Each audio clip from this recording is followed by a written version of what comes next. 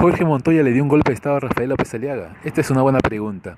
Rafael López Aliaga sigue disgustado porque la bancada de Renovación Popular fue a dialogar con Pedro Castillo en Palacio de Gobierno. Y Rafael López Aliaga ha soltado una frase muy peculiar.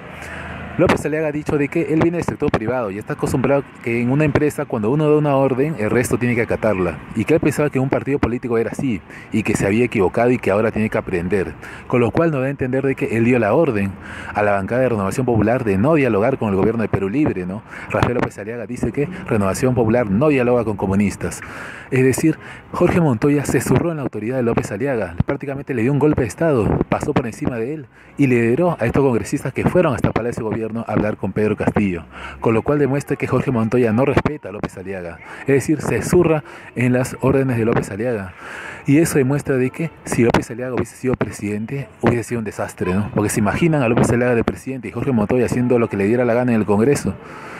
Eso hubiera sido terrible, ¿no? Es decir, aquí en el gobierno de Pedro Castillo hay muchos problemas, pero con López Aliaga de presidente y Jorge Montoya en el Congreso hubiese sido un total desastre, literalmente, ¿no?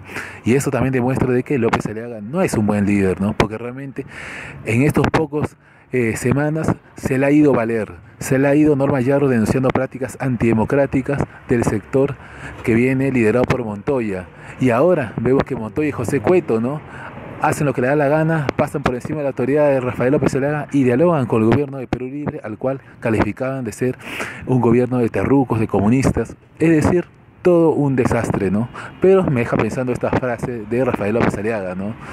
Yo di una orden, es lo que a entender Rafael López Aliaga, y no fui obedecido.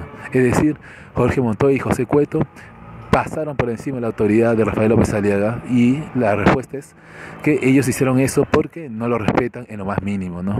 Con lo cual esto demuestra de que Rafael López Aliaga como líder es un desastre.